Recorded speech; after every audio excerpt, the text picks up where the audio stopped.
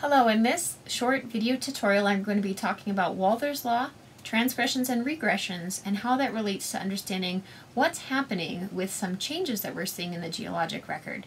Now when we're starting to imagine this, we're going to today um, think about a beach environment, which we know very well. So when we're trying to go back and interpret these environments, we want to remember that we use our observations of modern depositional environments to make interpretations about what we're seeing in the sedimentary rock record.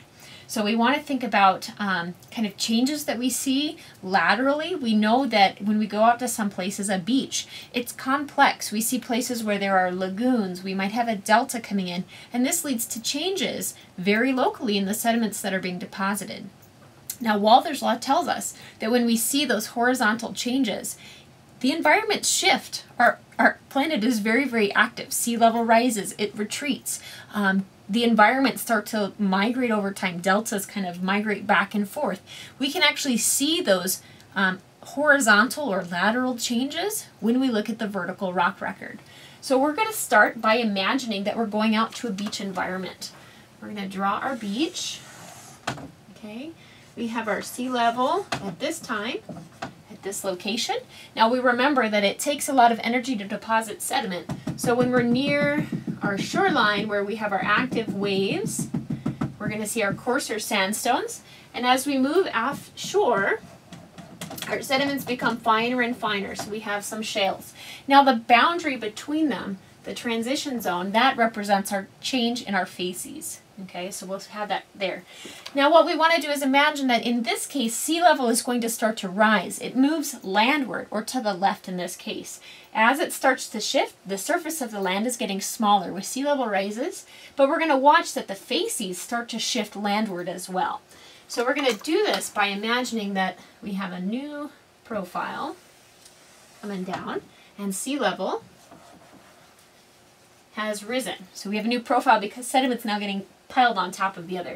We're going to see our sand still getting deposited on the landward side, and we're going to start to see our shales offshore and our transition between them.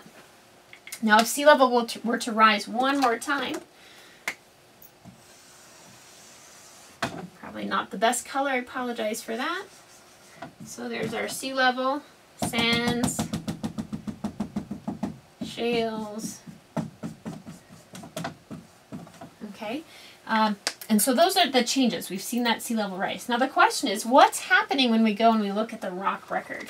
Well, if we were to imagine coming through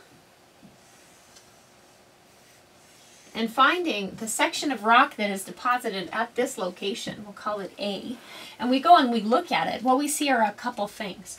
The bottom unit we can see here, it has an eroded base, and we're going to see that we have our coarse grain sandstone. Okay. Above that, let's see if I can get that red. Above that, we're going to start to see that the material becomes finer.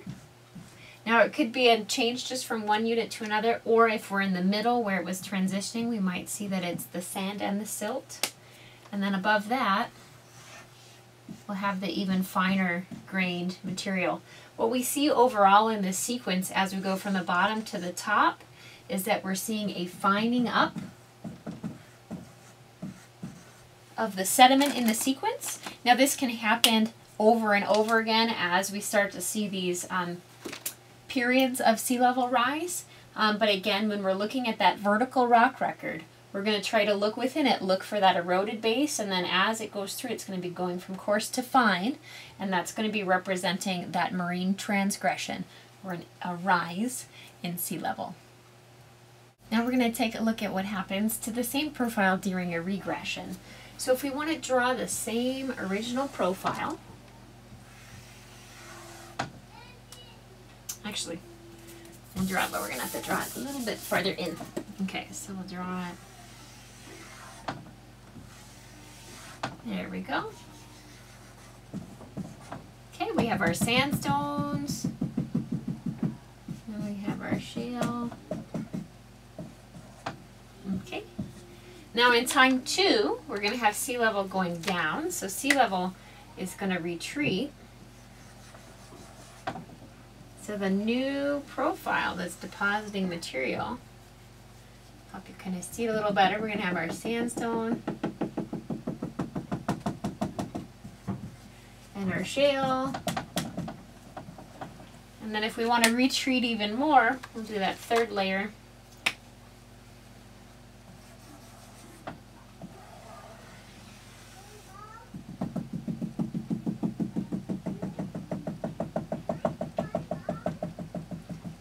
and eventually more shale. Okay, so now if we want to take a section, we can see that the land surface has gotten bigger. When we go and we look at it, the sea level has migrated out towards the sea. The facies are all shifting out towards the sea. Now we're going to want to take a quick look and see what's happening in one section. Let's see. Pick this spot right here. Okay, now when we look at the section, at the very bottom, we're going to see our fine shale. As we get above it, we might start to see, the way I've drawn it here, we have a little bit of a transition.